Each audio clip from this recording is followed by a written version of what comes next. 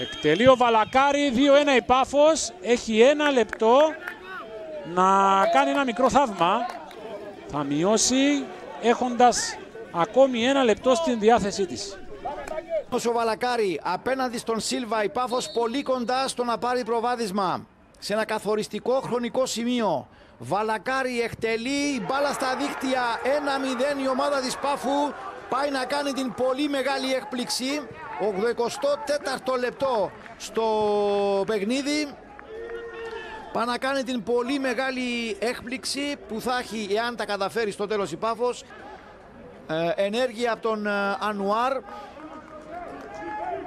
που στοιχίζει αυτό τον κόλ για την ομάδα του γιατί ο Βαλακάρη λέει ευχαριστώ στο δώρο αυτό της άμυνας του ΑΠΟΕ. Και πάλι τρέχει ο Κούζικ και κάνει κίνηση και ζητάει μπάλα. Ο Βα... α, κρατάει, κερδίζει και τις κόντρες και βρίσκει τον Βαλακάρη. Βαλακάρη θα σουτάρει αυτός 3-0. Το Βαλακάρη στο 52 και το χαμόγελο του Βαλακάρη το σχηματίζει ε, με τα χέρια του στο πρόσωπο και τώρα ε, φαίνεται διάπλατο στο πρόσωπό του. Το χαμόγελο είναι υπέροχο γκολ από τον Βαλακάρη. Δείτε εδώ τον Βα να κερδίζει και τις κόντρες, να δίνει στον Βαλακάρη, η κίνηση του Βαλακάρη, το σούτ το εξαιρετικό με το αριστερό στη γωνιά του Κυριακίδη, 3-0. Πολύ ωραίο γκολ. Και ε, Ανδρέας Σταύρου νομίζω το υποδέχθηκε με τρομερό ενθουσιασμό ο κύριος Μιχαηλέγκο. Βαλακάρη απέναντι στον Αντρέα Παρασκευά. Πρώτη τάξης ευκαιρία για την Πάφο να ανοίξει το σκορ. Ο Βαλακάρη θα το κάνει. 1-0 η Πάφος. Ανοίγει το σκορ στο 61ο λεπτό με τον πρώτο της σκόρερ. Φτάνει στα 4 γκολ. Ο Βαλακάρη. Όνι Βαλακάρη νικάει τον Αντρέα Παρασκευά από τα 11 βήματα και κάνει το 1-0.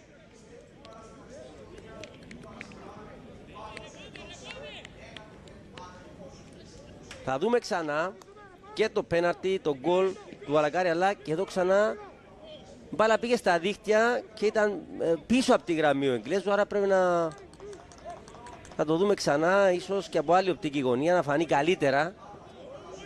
Ξανά το εύστοχο χτύπημα πέναρτι από τον Βαλακάρη. Χρειάζεται πολύ μελέτη η φάση που σφυρίχθηκε το πέναρτι της, της ε, Πάφου. Πάει να βγει μπροστά η Πάφος τώρα με τον Παντσόν. Παλιά στην περιοχή ο Τόρες, συμπαλαμένη Βαλακάρη, ευκαιρία δοκάρει και μέσα.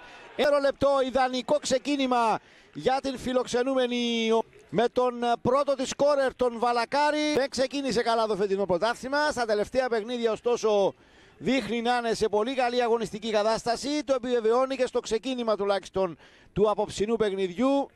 Δείτε εδώ ξανά η παλιά που βγαίνει δεν απομακρύνεται η μπάλα σωστά. Ο Βαλακάρη θα γίνει κάδοχος. Σημαδεύει πρώτα το δοκάρι. Στην συνέχεια ωστόσο η μπάλα παίρνει πορεία α, προς τα δίκτυα. Μερικό πέρασε για τον Ράκελ. Παράλληλα το γύρισμα Βαλακάρη. Περιμένει ο Φουρ. Αυτός θα κάνει το σουτ και θα σκοράρει. 1-0 η Πάφος. Αυτό που λέγαμε λίγο νωρίτερα ότι δείχνει στα τελευταία λεπτά ότι είναι πιο ικανή να επιτεθεί, πιο επικίνδυνη όταν βγαίνει μπροστά. Το κάνει και τώρα και σκοράρει, τελειώνει ιδανικά την φάση ο Φουρ. Νωρίτερα στην πρώτη φάση του παιχνιδιού ο Φουρ ε, ε, δοκίμασε να βρει με μια παράλληλη παλιά τον Περικό. Τώρα ο Φουρ τέλειωσε την προσπάθεια και με ένα ε, ωραίο έτσι ε, σούτ εκεί νικάει τον ε, Βοζίνια, στέλνει την μπάλα στο 19ο λεπτό ε, στα δίκτυα, ξανά η φάση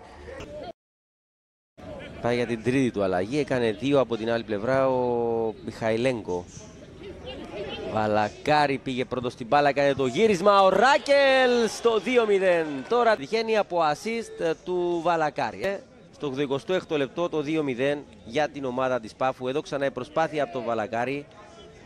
το γύρισμα, κοντρόλ με το δεξί, με το ίδιο τελειώνει ιδανικά την φάση με γκολ ο Ράκελς 2-0 οι γηπεδούχοι θα πάνε στους 18 βαθμούς θα πετύχουν την